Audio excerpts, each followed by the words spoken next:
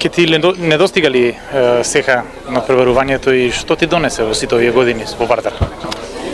A, Pa naravno da će nam dostajati, nije lag zadatak stvarno bio a, napustiti ni Vardar ni, ni Seha ligu. Otkad poznajem sebe i svoje rukometne korake nekako kako sam išao prema, prema nekom svom cilju dječačke snove da, da, da ispunim, Seha liga i tu bila sa mnom od početka. A, davala mi priliku da se dokažem, da se pokažem ne samo meni nego svim mojim suigračima. Bilo je super, sedam godina smo proveli tu, četiri puta smo osvojili titulu Seha lige, evo, došli smo po, po, po borbu za petu titulu i na, evo, nadam se da ja na, na kraju ove svoje ere u Vardaru da, da ću pokušati donijeti svom Vardaru uz pomoć mojih suigrača naravno tu titulu da se oprostimo Seha lige onako kako bi trebalo.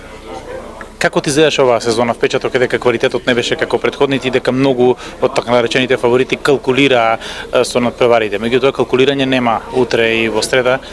Сите четири тима ќе играат со најдоброто што го имаат. Па нормално.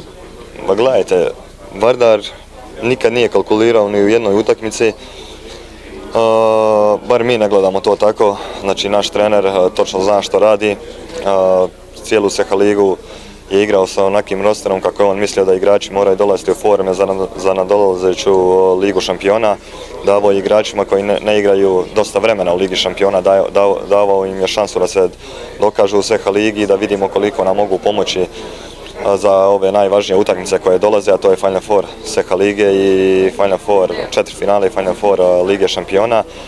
Tako da nikad kalkulacija nije bilo, nego mi- nas ima tu 20, svaki igrač mora dobiti svoju šansu i tu je trener da odluči kad to treba biti. Благодарам и многу успех утре во полуфиналето. Hvala vi mnogo.